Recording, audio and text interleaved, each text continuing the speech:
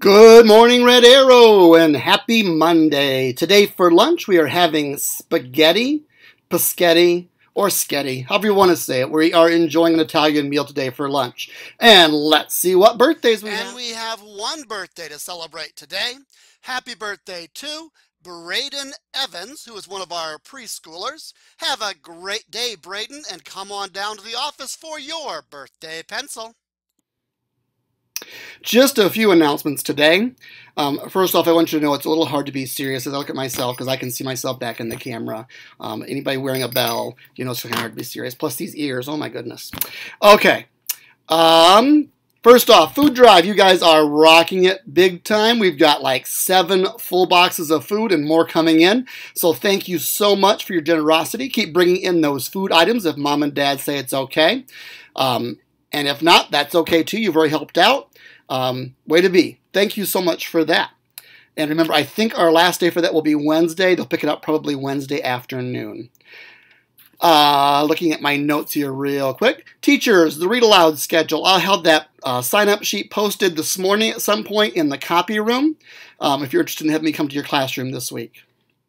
And just a reminder to everybody, um, if you make a phone call home because of a sick kiddo or something else going on, would you please make sure that we know in the office um, when you call out from a school phone, it's a generic phone number, and if we don't leave any voicemails, parents get very concerned and nervous and start calling every school building that they have kids in.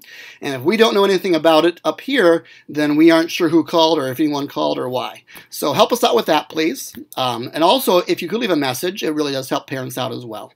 Thanks for that kind reminder.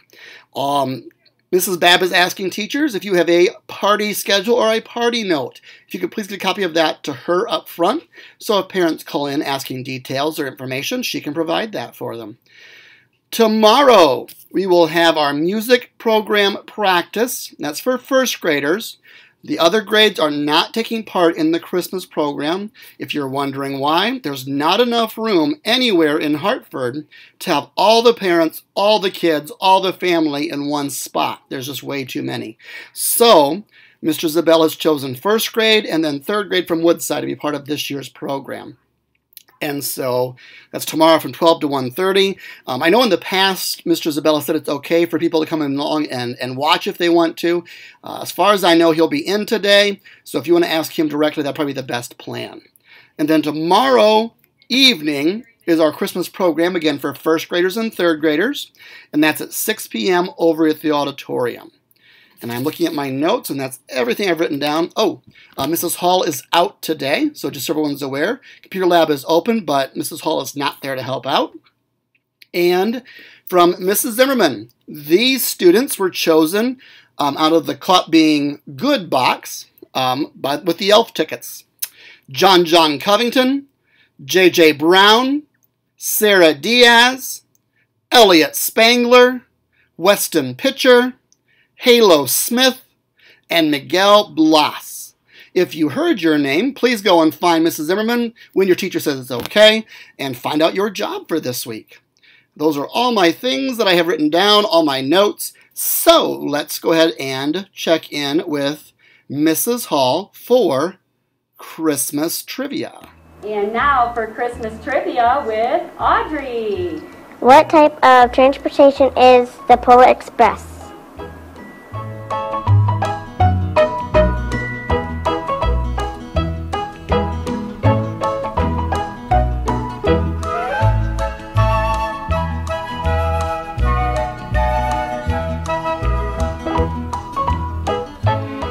The Polar Express is a train. Polar Express, excellent movie. If you were at movie night a couple of weeks ago, you saw that one, and I'm sure you remember that the, the uh, Polar Express was a train. Excellent job with that. And I got them out of order today, I just realized, so let's go ahead and do our Sparkle and Twinkle report. And here is today's Sparkle and Twinkle report. Looks like Twinkle found his way to the gym. His sign says, I had a healthy breakfast and look how high I can climb. Love Twinkle. And he went all the way to the top of the climbing wall with the mats on. So I'm not quite sure he must have like Spider-Man feet. Or else I wonder if he grabbed that Velcro strip and stuck his clothes to that and kind of rolled up. Could be either way. Either way, Twinkle climbed to the top of the wall. And here is Sparkle posing with a friend. Eating a good, healthy breakfast starts the day off right. Love Sparkle. Looks like Sparkle and Twinkle both found out the gym and the lunchroom are great places to be.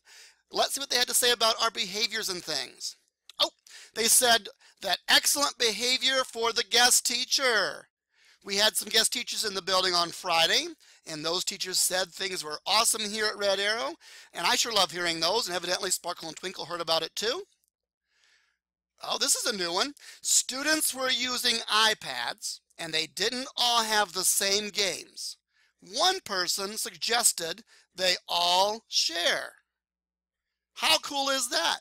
Way to go to that person who thought that it was good to share iPads um, if they didn't all have the same game so everyone had fun.